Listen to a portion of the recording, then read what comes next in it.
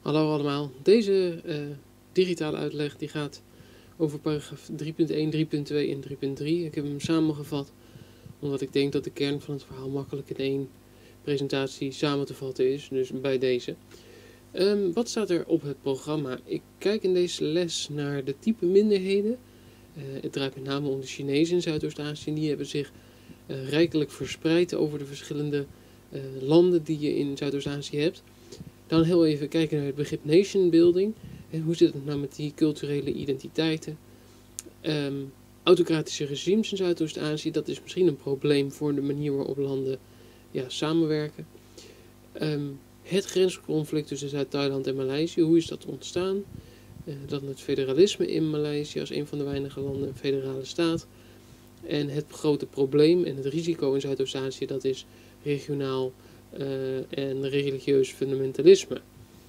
Nou, um, eerst maar even kijken uh, naar de type minderheden die je hebt in, in Zuidoost-Azië. En het gaat met name om de Chinezen als etnische minderheid. Als je naar deze kaart kijkt, dan kun je heel mooi zien dat vanuit China er dus een heel grote hoeveelheid Chinezen zich hebben verspreid over Indonesië, Singapore, Maleisië, Cambodja enzovoorts.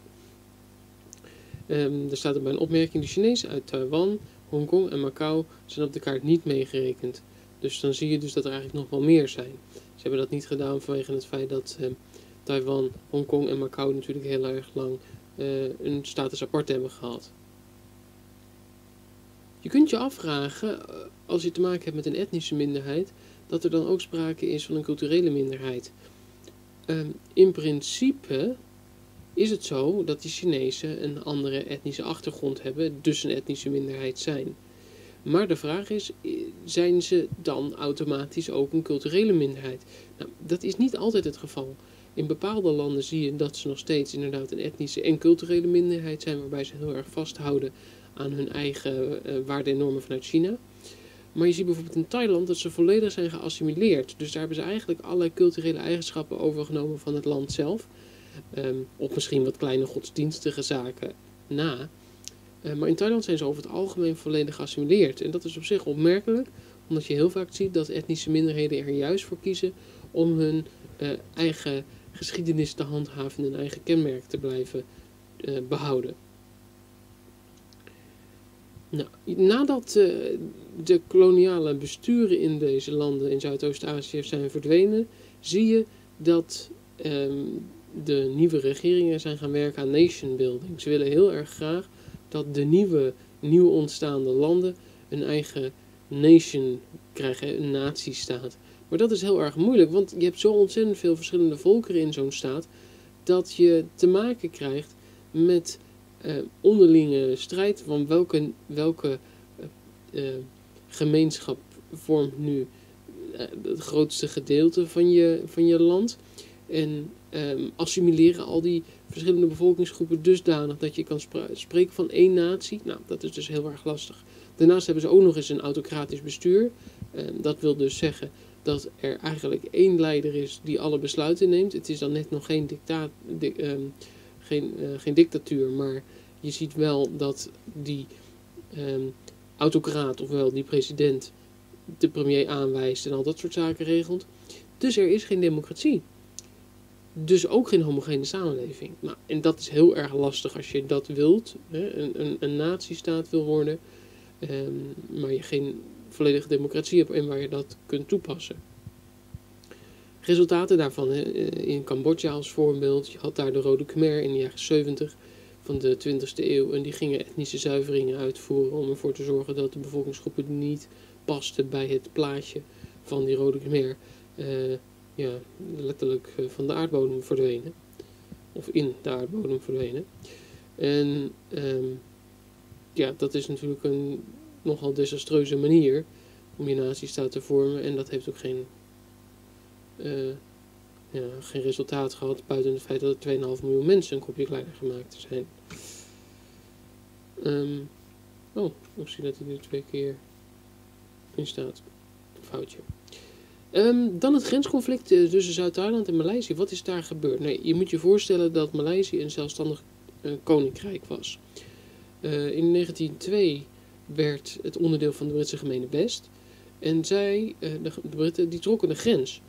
En het probleem was, omdat zij die grens trokken tussen Maleisië en Zuid-Thailand, kwam een islamitisch gedeelte van Maleisië ineens bij Thailand, waar de bevolking geen islamitisch geloof aanhangt, maar juist um, zich veel meer op Taoïstische en Maoïstische uh, grondvesten geschoold heeft. En het probleem was dus dat um, dit gedeelte dus niet ineens um, bij Thailand kwam en daar dus wat onrust door ontstond. Je ziet het ook op dit kaartje. Maar je ziet de drie zuidelijke provincie van Thailand. Dat is dus uh, een gewelddadige opstand ontstaan vanwege het feit dat die provincies eigenlijk meer aangesloten voelen bij Maleisië dan bij Thailand. En dat had dus alles te maken met het feit dat Groot-Brittannië dacht van ach, we doen een beetje aan uh, het ruilen van land. En we zorgen er daardoor voor dat er dus onderscheid uh, ontstaat tussen Thailand en Maleisië. Maar goed, dat was dus niet zo succesvol.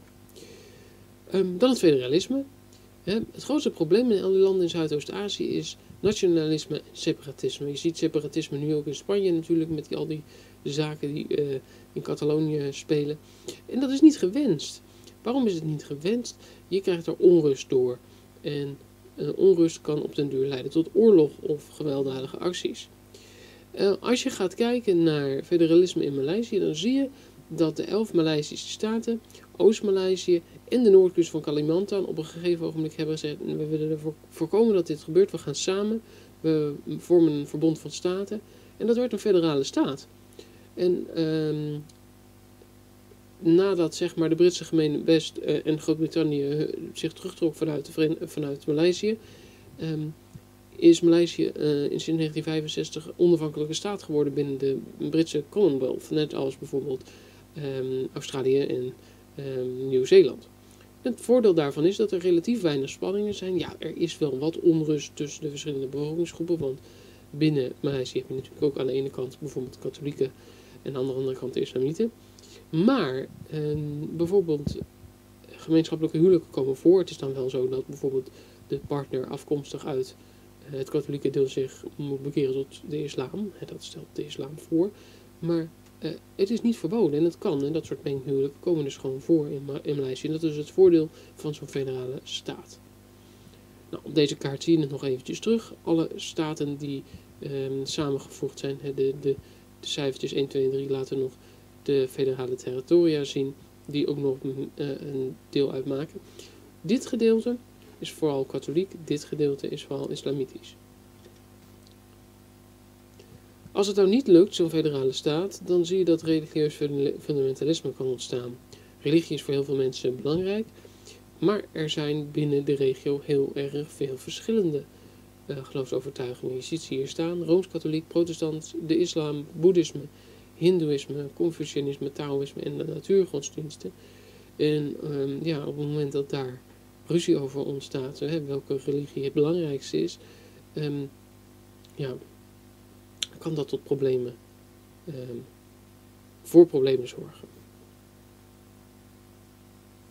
Andere gevolgen zijn regionale autonomie. Maar regionale autonomie wil ook niet altijd werken, want dan zegt bijvoorbeeld het landsbestuur: oké, regio X, jullie krijgen meer vrijheden. Maar dan zijn die vrijheden weer niet genoeg voor die uh, fundamentalisten. Uh, met als gevolg dat ze nog steeds niet blij zijn met wat ze gekregen hebben. En daardoor er nog steeds een verscherpte spanning bestaat tussen bijvoorbeeld de religies van de verschillende gebiedsdelen. Um, dit is met name in de Filipijnen een probleem. Lees dat vooral nog even door in paragraaf 3. Goed, tot zover. We hebben even gekeken naar de minderheden, nation building, de autocratische regimes, uh, het grensconflict tussen Zuid-Thailand en Maleisië, het succes van de federale staat in Maleisië en het religieus fundamentalisme uh, als probleem in Zuidoost-Azië. Goed, tot zover uh, deze paragraaf. Dat is ook de laatste, zijn eigenlijk de laatste drie paragrafen die horen bij het boek over Zuidoost-Azië actueel.